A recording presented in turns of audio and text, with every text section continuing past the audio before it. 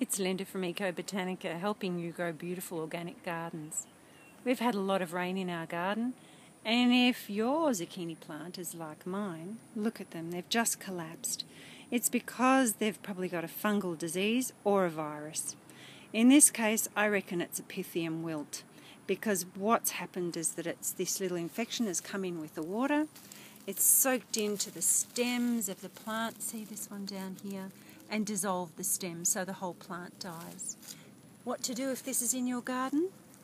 Dig up the whole plant, pop it through an actively working compost heap to kill any other nasties that are in there, and then take a big handful of these things, comfrey leaves, make up some comfrey leaf tea by taking that big handful, popping it in a bucket of water, chopping it up a bit, putting some hot water in to start with, and then filling up the bucket with cold, stirring it for two days, straining it, and then pouring it over the soil where your zucchinis were growing. You'll help to reduce the um, fungal or viral infestation in the area. And then I'd give it a week or two and plant again. Uh, and don't plant zucchinis, plant something totally different. Perhaps a um, perhaps radishes and carrots next time.